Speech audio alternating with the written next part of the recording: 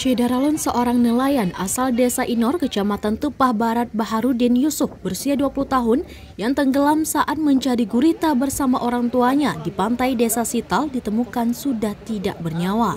Sebanyak tiga perahu karet, empat perahu nelayan, dan dibantu dua orang penyelam dari masyarakat turut dilibatkan dalam pencarian korban.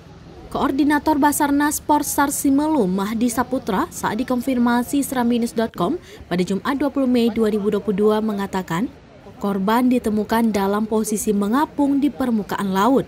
Berdasarkan kesepakatan dengan keluarga, jenazah dibawa ke rumah sakit untuk divisum. Sebelumnya diberitakan nelayan bernama Baharudin Yusuf berusia 20 tahun hilang terseret arus saat mencari gurita pada Kamis 19 Mei 2022. Telah terjadi musibah satu orang warga Sital, warga Inor yang hilang di pantai uh, pantai Sital. Uh, korban ini memancing sama orang tuanya di seputaran karang pantai Sital. Kemudian uh, hilang di pas ombak perairan di pantai Sital. Ada kendala selama proses pencarian?